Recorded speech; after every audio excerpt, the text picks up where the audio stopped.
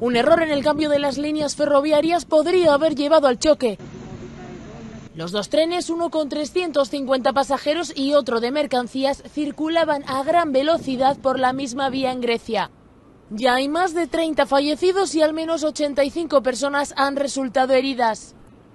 Cifras que el portavoz de bomberos de Grecia ya ha dicho se espera que aumenten a medida que se avance en el rescate, porque con la colisión varios vagones han descarrilado y han quedado volcados al lado de la vía y por lo menos dos han quedado totalmente calcinados por las llamas.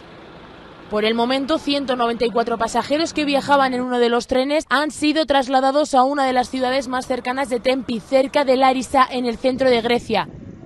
Las labores de búsqueda han continuado durante toda la noche y lo seguirán haciendo también durante el día.